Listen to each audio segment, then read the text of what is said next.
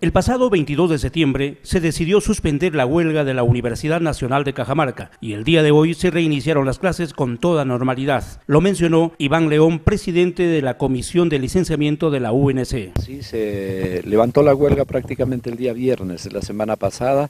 Hoy ya las clases están desarrollándose con toda normalidad.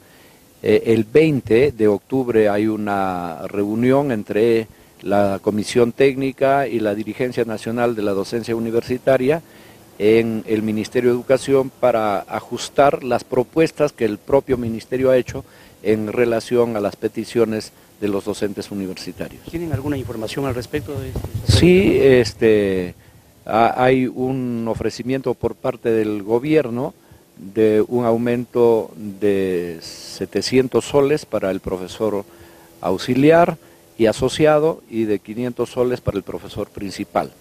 Además, eh, la posible o la probabilidad de nuevamente poner en ejecución estas bonificaciones por sepelio y luto y lo que es más importante, para una jubilación o cese digno de los docentes, porque luego un profesor principal que tiene un promedio de, de 5 mil soles, eh, cuando sale al cese, no va a tener una percepción más de 1.200 soles, entonces está buscando que la compensación por tiempo de servicios sea con el promedio del sueldo de un año, del último año de trabajo.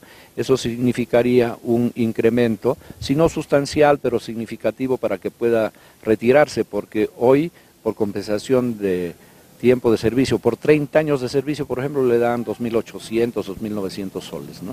El gobierno central tiene propuestas de aumento de sueldos para los docentes universitarios. Se espera el cumplimiento de los ofrecimientos del gobierno central, ya que el 20 de octubre se realizará otra reunión para revisar las peticiones de los docentes universitarios.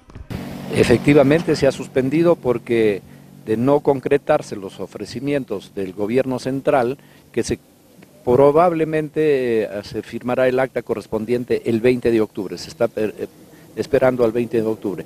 Pero siendo un ofrecimiento del propio gobierno en estos términos y aceptados por la dirigencia nacional, creo que no va a haber ningún problema.